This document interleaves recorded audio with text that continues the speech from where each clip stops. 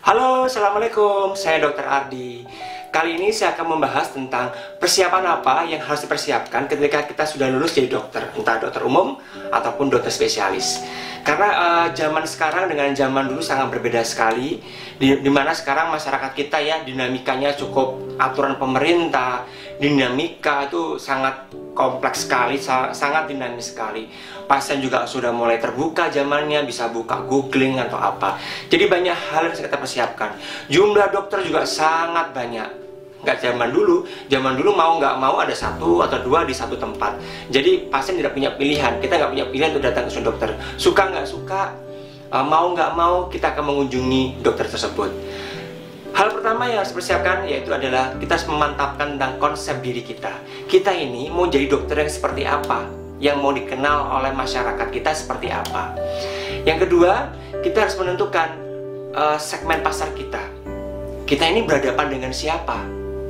ya kita berdepan dengan siapa kita harus survei masyarakat kita ini seperti apa di wilayah kerja kita yang well educated kah? Atau yang suka gimana? Ini harus kita tentukan. Usia berapa? Pasangan muda? Atau seperti apa? Yang ketiga adalah positioning. Kita ingin dikenal sebagai dokter yang seperti apa oleh masyarakat. Ini harus kita tentukan. Perlu diingat bahwa ujian sesungguhnya adalah bukan ketika kita dalam tidak pas masa pendidikan ya. Ujian sebenarnya adalah ketika ketika sudah terjun dalam masyarakat. Kita bisa nggak sih diterima oleh masyarakat? Kita bisa nggak uh, menjadi apa yang diharapkan oleh masyarakat sesuai dengan keilmuan kita? Itu adalah ujian yang terberat. Kita jangan sampai nggak bisa mengaplikasikan ilmu kita di dalam masyarakat dan tidak bisa diterima oleh masyarakat. Jangan sampai.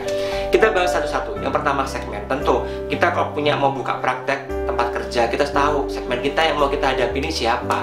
Tentukan segmen Anda, kelasnya, usianya, demografinya, dan yang lainnya karena dia akan menentukan untuk ke tindak lanjut selanjutnya yang kedua adalah positioning anda ini mau dikenal jadi dokternya seperti apa oleh masyarakat dokter ahli kandungan onkologi dokter anak khusus alergi dokter yang ramah, dokter yang galak, dokter yang komunikatif mungkin atau mungkin dokter yang sangat open yang mau dijak diskusi.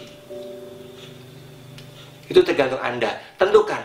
Jadi branding ini istilahnya branding ya. Jadi kita akan membranding dokter ini, diri kita ini dengan konsep positioning yang tepat dan kita tahu di segmen yang sudah kita tentukan. Setelah semuanya selesai, packaging dan yang lainnya akan mengikuti. Kalau memang segmennya di wilayah A dengan segmen seperti ini, dengan positioning saya mau akan jadi dokter yang seperti ini ya kita akan untuk menjualnya ibaratnya kita menjual barang ya meskipun ini bukan barang ya ingat ya kita punya kode etik dan etika jadi nggak boleh vulgar nggak boleh terlalu open nggak boleh yang keluar-keluar jual ini jual ini. Nggak boleh kayak gitu. Kita punya kode etik dan kita punya etika. Yang lainnya packaging kita nulis kita kita harus sesuaikan. Kita harus lebih spesifik. Ingat be unique be different and be you.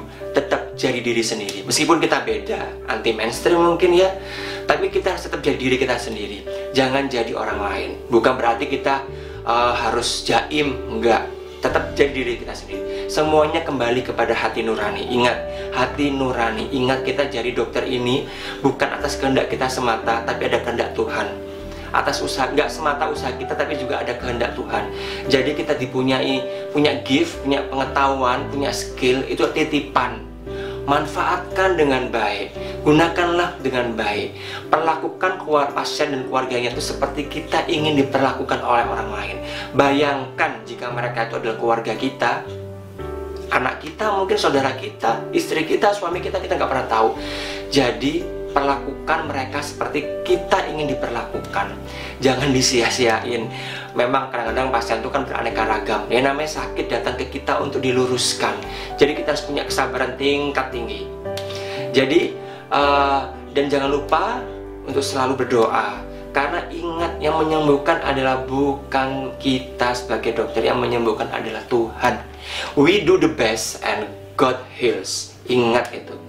Jadi bagi kalian saudara semua yang punya mungkin sudah punya misi dan pilihan hidup perjuangkan. Apa pun kata orang sekelilingnya jangan didengarkan mungkin ya. Yang penting minta restu kepada orang tua, perjuangkan apa yang Anda yakinkan. Kalau memang Anda yakin, perjuangkan.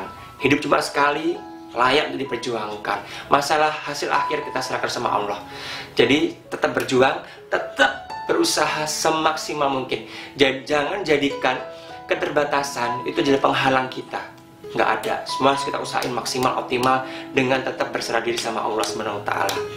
Oke, nanti lain kali kita akan bahas tentang tips siapa sih bisa masuk ke kedokteran atau PPDS mungkin. Nanti kita akan bahas. Pesan saya yang terakhir jangan lupa be unique, be different, and be you.